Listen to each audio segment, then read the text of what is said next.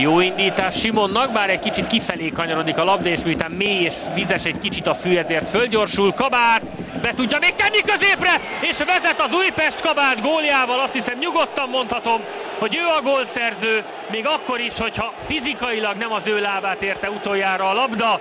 A gólt ne vegyük el tőle, Kabát Péter góljával tehát vezet az Újpest. Mindez a 9. percben. Kellett hozzá Verpec, és kellett hozzá egyébként a fél debreceni védelem. Pedig már úgy tűnt, hogy amikor Simon kimegy a labdával, hogy nem lesz belőle semmi, késve érkezik az ember, itt még ki lehetne rúgni, Kabát belerúg, és aztán középen Simácról pattan a kapu felé a labda, még Verpec is beleér. Óriásit betlizett most a debreceni védelem, azt kell, hogy mondjam. Ott a becsúszó játékos kirúghatta volna, Simác kirúghatta volna, ehelyett bent van az Újpest vezető gólja. Én továbbra is azt mondom, hogy ez legyen Kabát Péteré, íme még egyszer.